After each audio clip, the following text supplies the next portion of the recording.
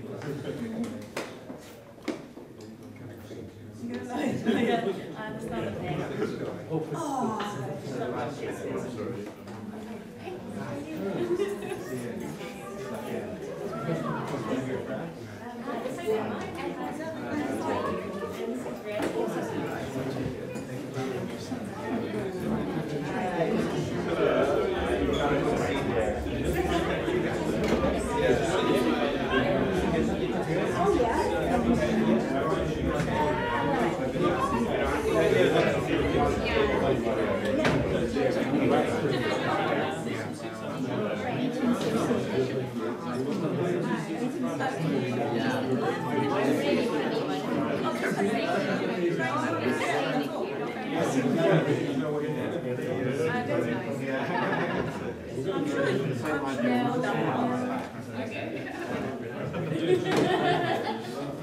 It's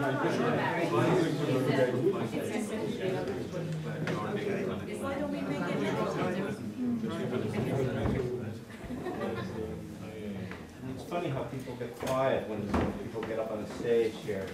It's an instant cue for silence. Really not what we need to be doing right now. It's functional, in fact, because you do a lot of different things when you're. It's al- it's also restrictions that. It's not X-rated, I I should assure you. Um, But it's a little bit of Houdini act also, trying to change in front of a million people. But, um, In in Village Jolly, this is done all the time. It just took some practice, it's actually harder doing it the other way around. And it's one of those things which you learn just to get used to, because in Java, of course, where where I've studied this art, there, there are no changing rooms, there are no green rooms, yeah? If you go into a village, in the middle, I don't know, Sharon in Vermayu, where I've spent all this time, you just kind of get used to changing in public. So adjust your standards of modesty, of course, there are often no toilets as well. And, and this is really an open rehearsal, so, um, uh, I'll be going off to the States, um, to, uh, perform this piece a couple of times, and I, I was actually invited, uh, to Greece in February. And it's one of those things which you, you often ask, get asked to do as a puppeteer, and I'm sure all the puppeteers in the audience know this, that, well, why don't you just do a, a puppet show for me? And, you know, working with the gamelan group, uh, which is ensemble of fifteen musicians, plus a big screen, and, you know, a set of two hundred puppets and a big wooden chest.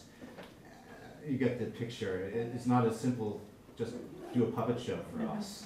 Um, and so, uh, and I, and I, I faced a kind of sim- similar situation, uh, today, actually, uh, after uh, Roman's wonderful workshop. Uh, we were asked by, uh, the Center for Creative Collaboration, uh, whether we would have a puppet show after the, the, the, this wonderful workshop, which the center, uh, sponsored a, a reception as well for.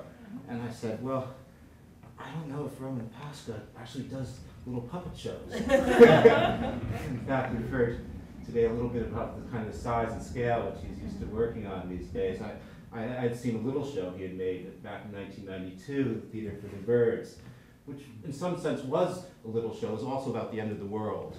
Um, so in another sense, it was, it was a very, very big show. Um, but um, so I thought about what we might offer. And I said, well, okay, I'll, I'll be a little bit self-promotional, perhaps, but also very pragmatic, going off to the States. Uh, The show which I had done in February, but wanted to, to, uh, to work on again.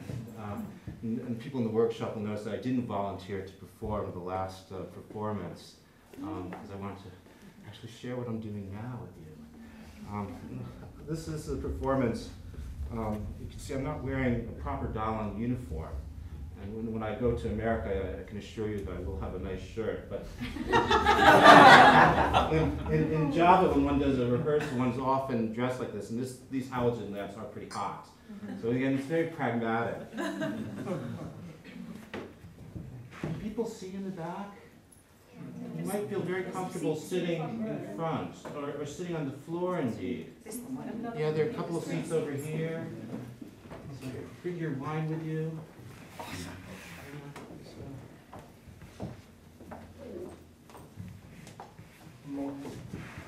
One more here.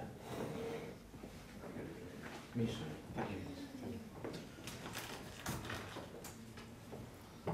Sopo,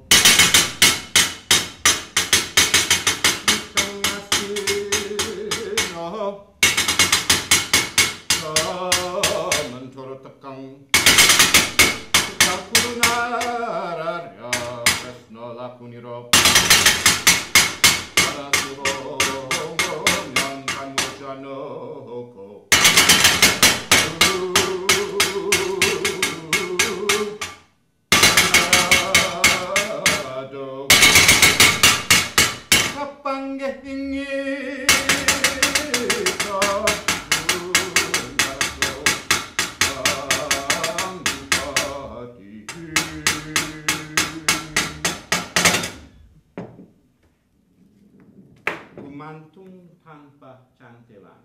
It's a Javanese expression. Gumantung means to hang. Chantilan means a hook. Tanpa means without. Hanging without a hook. This is a, a, a expression of paradox. Gumantung tanpa chantilan. You're hanging from something, but there's no hook. And this is the situation which I find myself in here and, and often, in fact, that I, I represent myself as a, a dalang, a puppeteer, a storyteller, a narrator, a creative worlds, a master of shadows. Some a friend of mine in California talks about. And, and, and yet, um, there's no wayang per se, and I can only be a dalang in the context of a wayang. Only in the world of a wayang can I be a dalang. Yet, wayang don't exist really uh, outside of, of Java, just as Roman Paska told us that a puppet doesn't exist when it's not moved by a puppeteer. And in order to have a wayang, a Javanese wayang that is, one has to have a, a Javanese audience. Um, well, we have a few honorary Javanese among us. We don't really have a Javanese audience per se. And this, this is the issue we find ourselves in this world we live in, is that uh, we have these theater forms which come out of the past, like the Italian Sicilian marionettes, which exist in interaction in particular contexts and environments, and then somehow something happens. Either they get transported to a distant land and they lose that sense of social purchase, or the audience itself dries up. And the puppeteers want to continue to perform. We like to perform puppetry. We all have our relations with our puppets. We're very vested in the form. But somehow the form doesn't exist without that audience. And so here I find myself in a dilemma, a conundrum, a paradox. And it's at moments like this.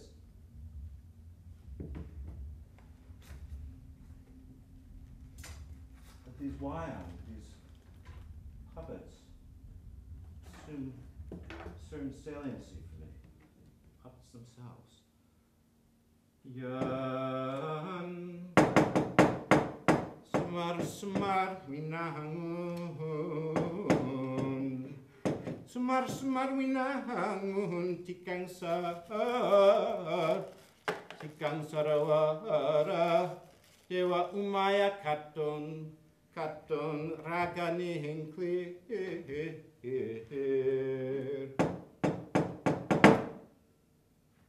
semar Semar, my old friend, Semar Kuda Hawana. This is uh, a shadow puppet out of Java. It's a, it's a real shadow puppet. It's not a fictional shadow puppet. It's, it's used in performances. Semar, I call him my old friend. Semar Kuda Pawana. Whoa! Ana Pamajika. Semar, in English, please. you know, I can do these sulukan, these old Javanese songs in Javanese, because that's poetry, and people in Java don't understand them anyways. But, but in English, because we have a real audience, oh, I understand majikan. Because the Punakawa and the clown servants, in Sunda, we speak in Sundanese. In Bali, we speak in Balinese. In England, we must speak in English. And in America, You can speak in Americanese. Yeah, they speak English in American. That's true, even if they don't use the same word for the inside of an avocado. same, same language. Oh, I understand that's an in joke. Yeah, there are a lot of in jokes today. Oh, Raji Khan, why have you called me out of the puppet chest? Well, uh, actually, I don't have a puppet chest, Semar. I have, I have a, uh, actually a, a bag, a suitcase.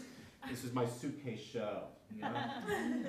oh, very well. Why is you called me out? Well, I have this this problem. It's an infinite problem, a paradox. Gumantung tanpa chantelan. Oh, yes. You said you shouldn't speak in Javanese. Well, I was kind of explaining a Javanese concept which the audience already understood.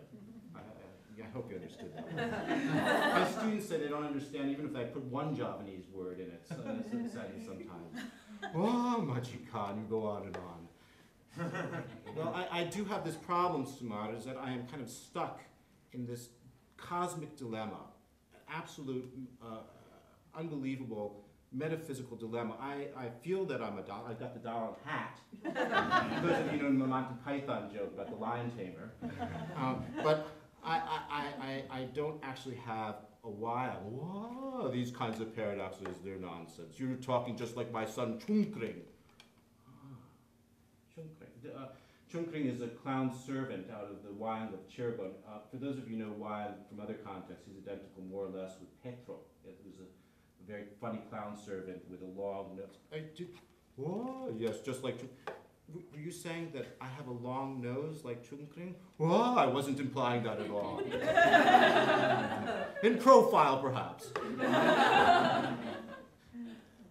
what is it you want? I'd like some solution to this, Semar. And you, my old friend, you're always at my side. You've been with me since I've been a boy. I took you once to Israel when, you, when I did this wayang there, one of the very few puppets. It was a very funny wayang. We only had two musicians in that wayang because all the gamelan of dropped out. it worked nonetheless. We had a very distinguished uh, uh, uh, scholar of Sanskrit who was very appreciative of this story. Well, you go on and on. you want some solution to your problem. Yeah, I, actually, I do, Semar. I really do want a solution. Oh, if you were my son Cungkring, I would advise you to go see my younger brother, Batara Guru. I, ha I hadn't thought of that do have some other puppets, so you can anticipate the puppets are going to go one by one. but this is a dramaturgical device, and, and, so when I say that I didn't think about that, I actually did think about it. this appears to be improvised, but in fact it's highly scripted. Every line of dialogue here is written out in advance. I think about them. I discuss them with my daughter, who's my primary audience at home. Sometimes I email my friends. I'm on Facebook a lot. You might not know that Facebook in Indonesia is like the, the highest percentage of Facebook users in the world. I know Helly knows that. Second, second highest after America? Yeah. Yeah, second highest after America. But it's catching up soon. Yeah. Yeah, absolutely. So people who are experts in media and performance know all about this, like Kelly over there. Is it okay if I identify you, by the way? Yeah. Is it all right? Yeah. Nina, is it okay if I talk to you too? You're very visible in your glasses. Uh, Semar might think you're also one of the Pinakawa, one of the clown Oh, servants yes, as well. please.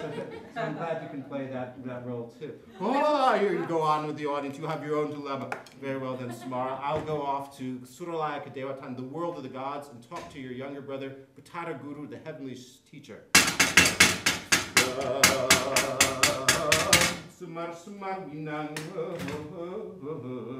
So, anyways, when I would be doing a wayang like this in Java, there would be a big gamelan orchestra, 15, 20, something, 50 piece band behind me. Of course, I'd have a screen here. I wouldn't be looking directly at you. There'd be a banana log here. Uh, there would be a lot of music going on. There would be a very pretty female vocalist, or five or ten, who would be singing and entertaining you as the next scene is being set up. That all these things would be happening simultaneously, and uh, uh, there would be uh, uh, beautiful uh, music. There would be you'd be talking among each other because not everyone's interested in these kinds of moments of the performance. And then before you know it, there would be uh, two or more characters at the screen. Kakang narada. What is it? Narada. What? I'm at your service. Do you know why I have summoned you here today? I am not certain. It is because of the cosmic disturbance which threatens the very structure of the universe. Are you referring to the volcanic eruptions in Java? No, I'm not referring to the volcanic eruptions of Java. Are you referring to perhaps a tsunami and an earthquake in Japan? I'm not referring that to that either. Are you referring to the economic crisis in Greece? That was the last wayang we did. what are you referring to? There is a human who has come to the world of the gods, and you know that the world of the gods, Suralaya Kadewatan, is the place of the gods alone. Human beings cannot mount to this heavenly plane without causing a great disturbance.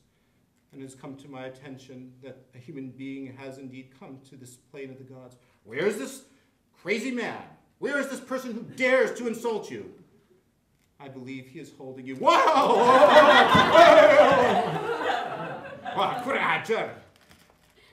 What are you doing here? Well, you know, I have been holding you for a while. You might not know. But actually, I've come here because of a cosmic dilemma which I myself am facing, and I think other puppeteers in the audience possibly are facing as well, particularly punchmen, perhaps. The punch woman. Why have you come here? Well, I am, I am faced with this absolutely impenetrable problem. Gumantung tanpachata. Yes, we understand gumantung tanpachantilan. You've gone on of that long enough. You've, you've been overhearing me then. Indeed I have. We gods, we get around. You're at your last performance. It's like this. I, I'm a Dalang, and yet I have a relationship to Wayang without an audience, and I just am stuck here. Very well, then, if you have a, a nature of such a philosophical problem, you've come to the wrong people, in fact. philosophical, uh, but you're the, you're, the, you're the gods, surely you can help me in this. Indeed, but every god there is indeed a function. My function is as the vizier of the gods. I stand as a messenger, and I act as an intermediary between the world of the gods and the world of those humans out there.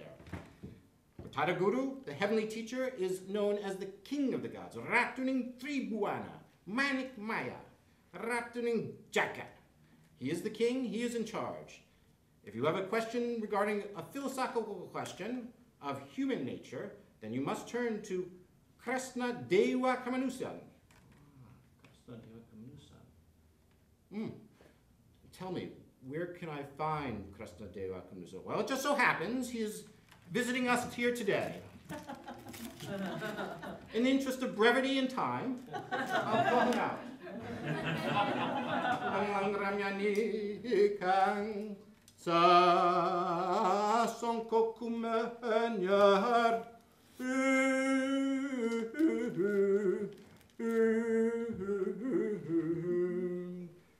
Krishna, God of humanity. Deva Kamanusan. Deva means God.